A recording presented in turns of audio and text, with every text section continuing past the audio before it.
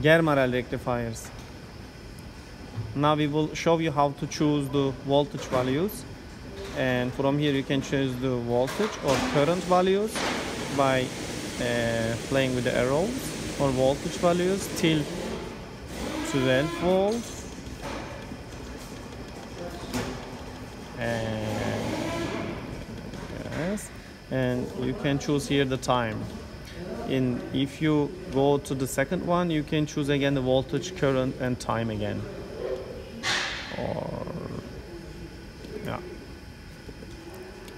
So and then when you press start it will work. And then now it will start stop then it means it's ready to work